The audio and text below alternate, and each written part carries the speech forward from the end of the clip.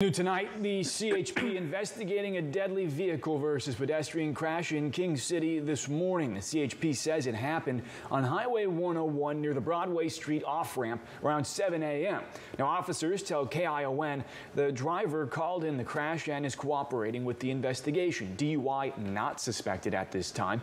It's unclear why the person was on the highway, and the road in that area has reopened after being shut down for the CHP's investigation.